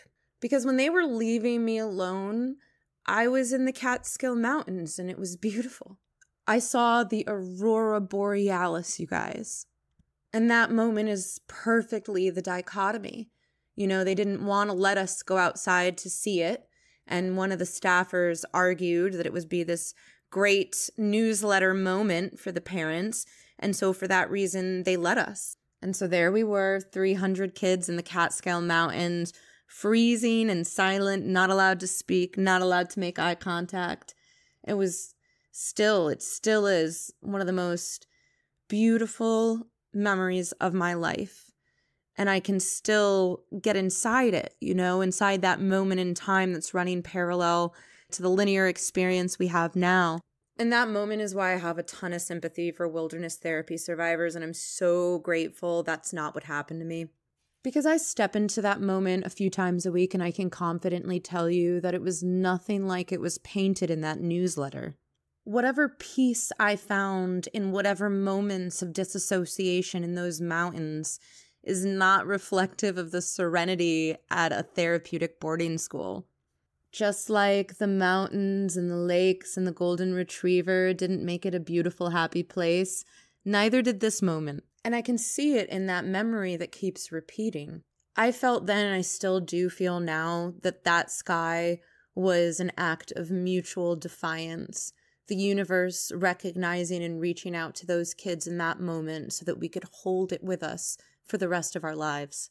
Or I'm just super dramatic. But either way, it's these little things that helped us survive in that experience. And one of the main things that helped me was harboring my boyfriend's t shirt. I had somehow managed to sleep with it every night without people realizing that it belonged to my boyfriend. And if you think I'm weird, you can suck it. My kid is literally having her long distance boyfriend mail her a sweatshirt as we speak. So like this is a thing. This is this it is known. And then walks in Tom Malkowski. Except I didn't know his name then. Because when you come into the family school, you're on a six month blackout and a family only blackout and all that jazz. We never broke blackout. I never attempted to speak to him, and he never made eye contact with me.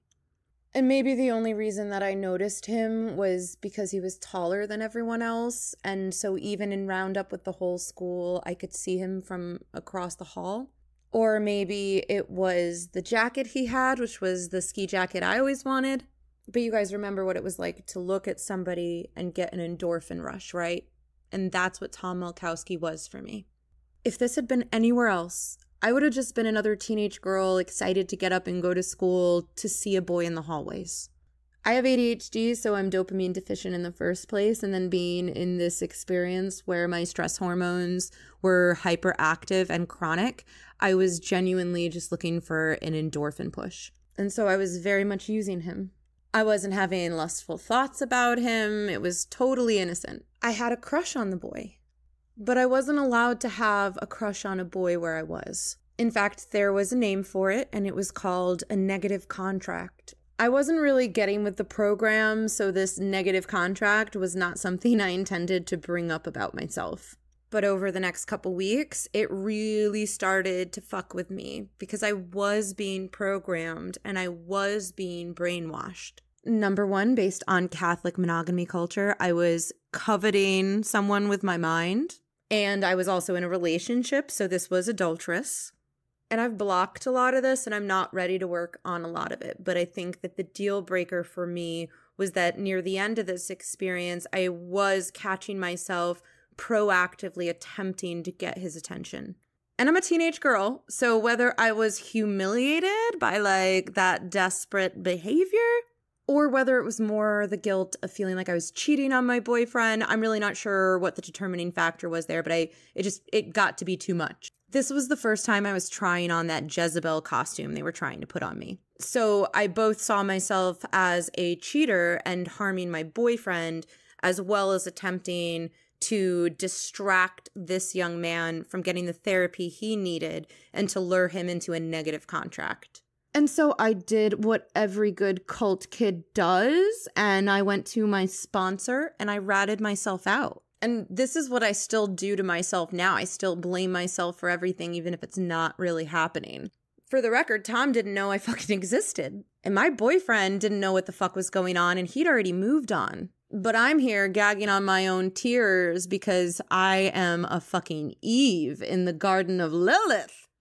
And of course, if you guessed that the program staff took this as a huge win in Miranda progress, ding, ding, ding, yeah, they did. And so I called myself up. I admitted everything. I gave them my boyfriend's t shirt. I tried to put myself on blackout with boys temporarily again. Because remember, I'm an evil whore temptress. Side note, my mother named me after the Tempest. So, yes, everything is still my mother's fault. And for the record, this is the only time I currently remember getting with the program, if you will. As this was playing out, I genuinely believed what I was doing was the right thing. And I had made it incredibly clear to my sponsor and my family leaders that no, he had not participated in this negative contract. He'd never made eye contact with me. The guy did not know I existed. And when I started at FFS, Cindy Argyros was my sponsor. She's the wife of the owner and she's a complete fucking psychotic cunt who made me eat my vomit. But at this point, I officially had a different sponsor, and I genuinely trusted and thought this person cared about me. And she promised me that this would not get misconstrued and brought up in Tom's family or put on him. And honestly, I still believe she believed that. And to be clear, I don't know that it was. What I know is that the next time that I saw Tom, he was lying on the ground in front of family three, choking on his own blood to death. He wanted to escape the abuse so bad that he took a one story dive headfirst off a balcony. And I am constantly conflicted between using my voice and my platform to speak and scream out about Tom Mulkowski in an effort to try to hold his abusers accountable for his death and blaming myself and making things all about me. I've spoken to Tom's junior sponsor, who is the one who watched him dive off that balcony, and he doesn't know what staff was speaking with Tom about right before he died if I knew for sure that it was the bullshit that I started and that I caused, it would be a lot easier for me to champion this cause. But just like every other funeral I've ever been to in life, I feel like I'm an imposter. And I might not know if it's really my fault that he's dead, but I'm still gonna blame myself. But you know who's really to blame? It's the family school. They deliberately misrepresented and mismarketed themselves to children who had depressive issues, suicidality, and other mental health issues when they had no credentials, no training, and no therapies. What they did have was rampant abuse. And just like every other kid who quote unquote commits suicide in a program, Tom Mulkowski's death was blamed on him. It's why I'd really like if we'd stop calling these things suicide. The term is quite literally a crime, and so therefore it makes the victim of the suicide the one responsible for the crime. I don't think that's fair in this situation at all. Not only were they lacking in adequate supervision or support for people who were dealing with serious mental health issues, but their quote unquote treatment was literally child abuse and in every way pushed children towards suicide if the only power that you have is to opt out, I mean, you're going to consider using it. As someone who lives with suicidality, knowing that I do have the choice to bow out whenever I'm ready is empowering for me. It's why myself and a lot of other people use fantasies of suicide to keep ourselves alive. What I witnessed with that boy dying in front of me was not a suicide, it was an escape.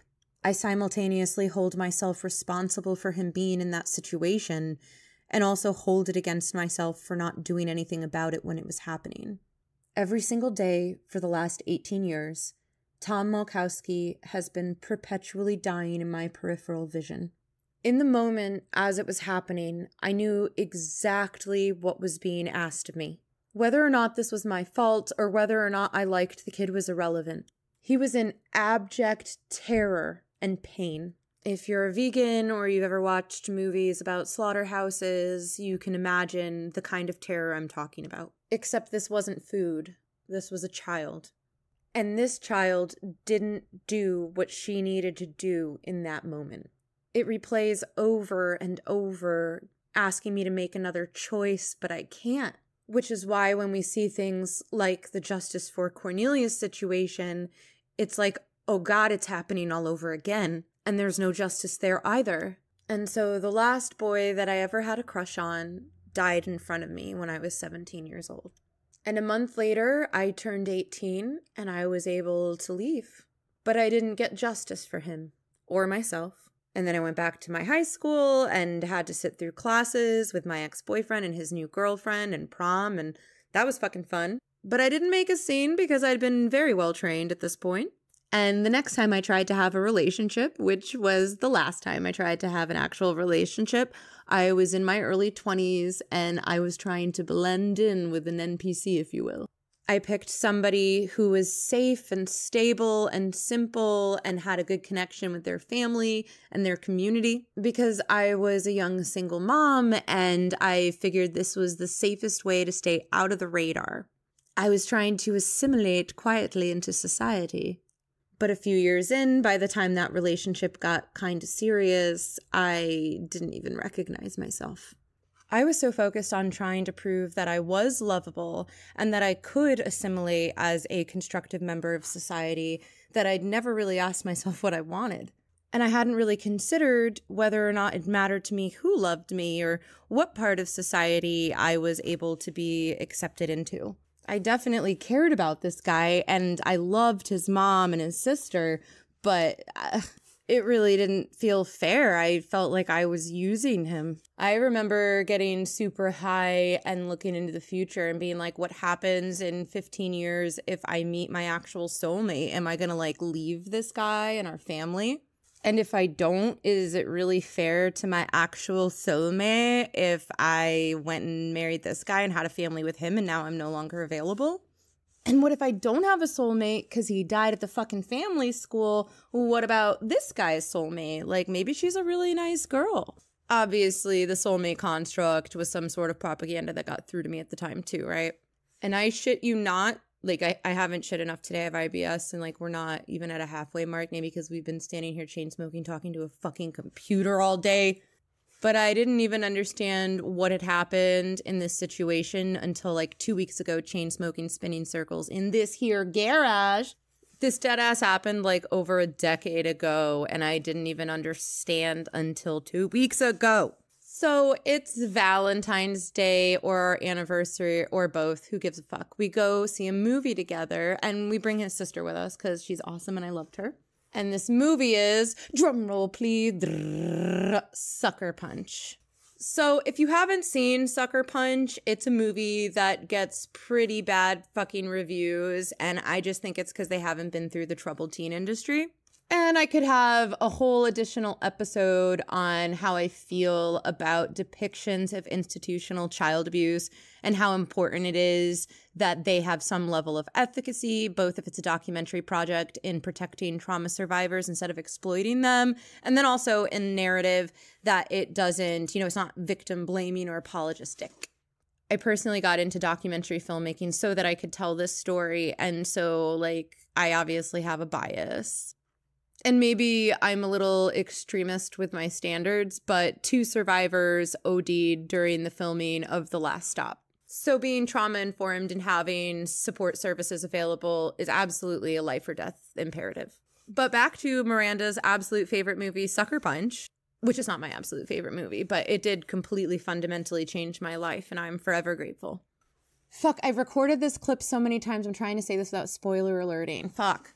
So the reason Sucker Punch is relevant to us is it's the story of a teenage girl who gets institutionalized against her will because she reports an abuser. The story then follows her and a group of other teenage girls who are being institutionally abused alongside her. And when I say that this is the most accurate fucking depiction ever, I am hoping you will argue with me, but like you lose because this is a one way recording, motherfucker. What? Not only does Sucker Punch pretty much cover the majority of the spectrums of the kinds of abuses that happen in these places, but it's also the only time I've really seen film accurately portray the disassociation process for preservation and survival. Therein, why most people do not like or understand this movie. Because if you're not a survivor of institutional child abuse and you saw the trailer for this movie, you think you're signing up for this really fun CGI action flick. Which it is. It is excellent. The action is so good. The eye candy. Mwah. But if that's all you thought you were signing up for, then you might feel tricked into all of the child trafficking, institutional abuse, sexual assault, and mental health shit. Also, if you are not neurodivergent, don't have mental health issues, and have never been through anything like this, I think it is possible that you might have issues following the plot. I dead ass see bitches on Reddit being like, this was the worst movie ever. What the fuck was even happening? Whereas if you do have experience or you didn't see the trailer or you signed up for what it actually was, then the shifting between disassociative survival tactics and those realities not only makes a lot of sense, but it gives an emotional journey and it's cathartic. And yeah, it's depressing as fuck, but it wasn't it? And again, if you're not a survivor, the end is just pure depression. Whereas if you're a survivor, it's just, woof. So, if you haven't seen Sucker Punch, it comes with an incredibly high trigger and content warning, especially for survivors, but I couldn't recommend it more. What I will not recommend it for is a film to help explain to your partners or your support system what you went through. It was, however, a litmus test for me in my relationship. Because my dumbass, when I tell you that I ugly cried through this entire movie in the theaters, I ugly cried through the entire movie. We're talking all blocks lifted. I'd been calling this a fucking boarding school. I'd gone back to the goddamn reunion. And then all of a sudden, woof, the blinders are off. I was so teleported through this process that I didn't even realize my boyfriend had slept through this goddamn movie. And you can imagine how personally triggered I was that not only did he sleep through the movie, but he thought it sucked. I understood all that. I've always understood that in the narrative of how this relationship ended, but it's the next part that I didn't comprehend. So after we get home, I am such a fucking wreck that this dude is like, toss me a pillow, I'm gonna go sleep on the couch. So I am like, you can get the fuck out of my house. And I dead ass packed Homie up and he was moved out by the next afternoon. We literally never had a phone call, a text message, or any conversation from the moment of throw me a pillow because you're having a meltdown to today. And I get it. You guys got the chronological version, but like, I had no idea that that incident had anything to do with my trauma or the program. Like, it's pretty clear to me now that I felt invalidated, unheard, and unsupported by my significant other, who I was during that very weekend considering spending the rest of my life with. And I was just like, I cannot fucking do this. I was like, you do not see me, you do not know me, you do not have my fucking back. But I didn't know that until two weeks ago.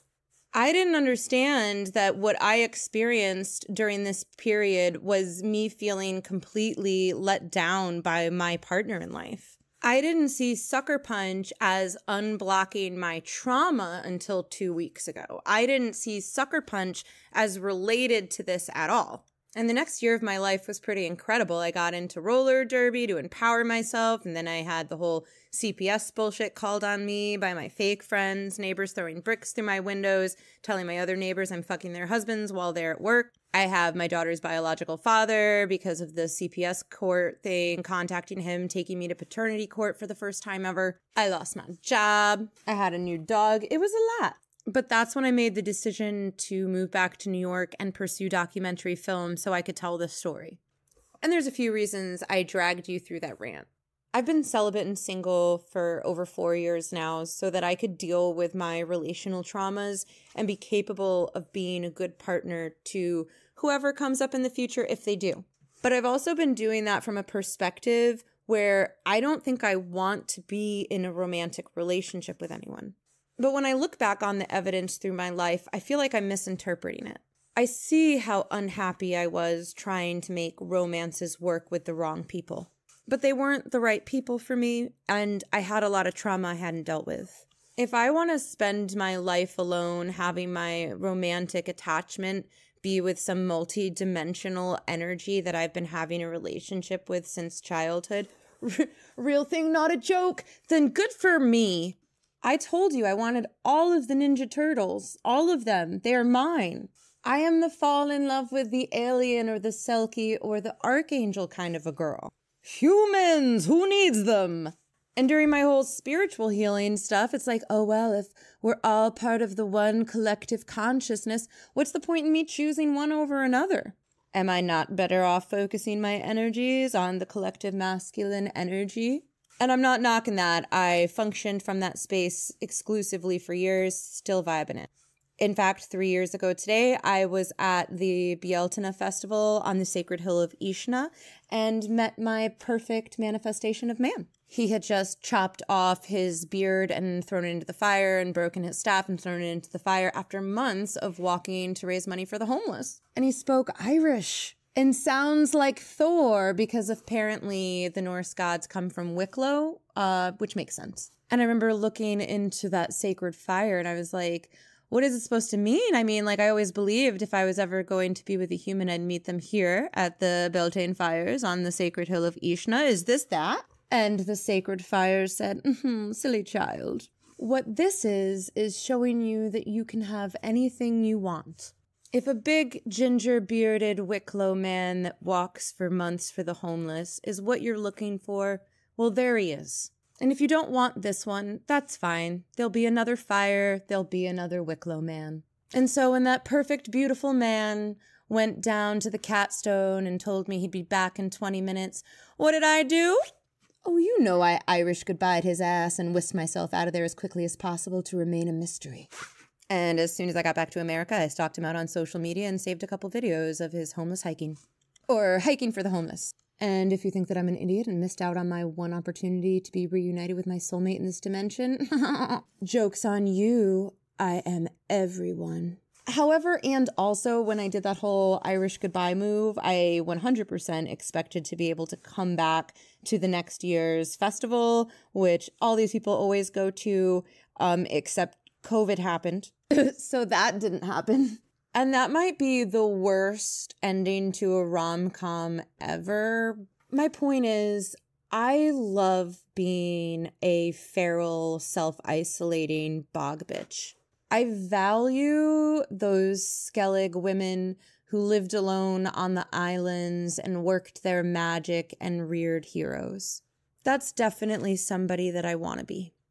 But I'm not a crone yet, and I'm not sure what I want before then. And whether it's friendships or romantic relationships, if we're going to have relationships with the world and relationships with ourselves, we really are going to have to get to the work of looking at our trauma and healing it. And as much as I do honor and value the sacred hermit, I also really value informed consent and sovereignty. And it's okay if I choose to spend the rest of my life alone on my own little island so that I can stay safe and feel valued and welcome. But I don't want to make that choice or any others solely from a foundation of fear. And so, for those of you who don't feel like you have actual friends or you haven't been in a romantic relationship in a really long time, I hope you'll join me in figuring out whether or not that's our preference or our trauma. I don't want my trauma to control me anymore. And I don't want to wake up as an actual crone alone on an island and discover that as great as some of these moments may have been, the only reason I kept hidden and alone was because I was afraid. I don't want my fear of being rejected to keep me from being accepted ever in any meaningful relationship. And it's not just romance, it's friends too. I don't have friends. I have mutual mission makers. I have no idea what it's like to have fun anymore. I don't do anything for fun. I don't have hobbies. I don't have fucking endorphins. I'm really good at living the mission. That's who I am, and that's who I always have been. But we always have to ask ourselves is that you or is that the trauma?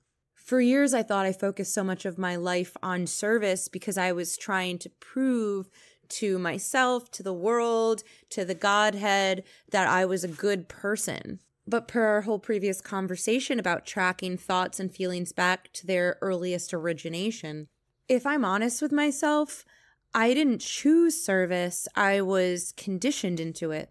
And I want to help people and I want to serve my community and I want to save all the animals. That's all true.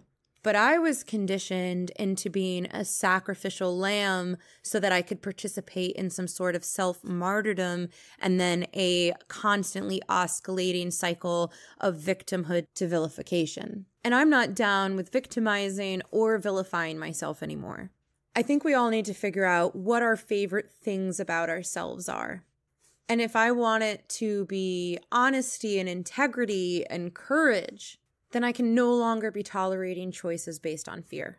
And if I'm honest with myself and I recognize that the last boy that I was in love with was taken away from me when I was thrown into an abusive pedophile run behavior modification cult in a really traumatic way that as as much as everybody wants to make fun of these teenage love stories, they can cause trauma when situations like this happen, and it absolutely did for me. So if I can recognize that as well as that the last boy I had a crush on died in front of me, I guess at some point I have to stop pretending like those situations that happened to this teenager aren't a big deal and stop continuing to minimize the impact that they've had on me because they absolutely have had significant impact.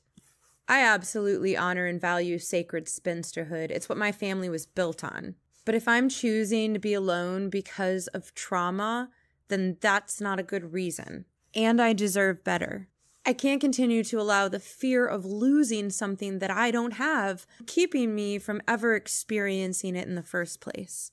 It still might be true that no one's ever loved me. But I'm gonna work my ass off to learn to love myself. And, you know, if somebody wants to match my energies, I should probably be open to that. Oh, I forgot I'm also talking to other people. Eh, eh, eh. Let me clarify, at least for now. Please do not apply unless you're a fucking alien or a Selkie. Because I've got a type and it's not human. And I hope to see more safe, positive, supportive relationships in our community. Because every time I see one of y'all with your partners out there making it work, it just warms the cockles of my cold, dried heart. And you're beautiful and you deserve it. All right, babies, go watch Sucker Punch and rate and write us a review on iTunes, Spotify, and Facebook so that others will get sucked into riding the rant with us. And we do have therapists and social workers that volunteer with us. So if you did want to write in any specific relational question for them, we'll have them answer it on air. Why not? That sounds fun. Bye.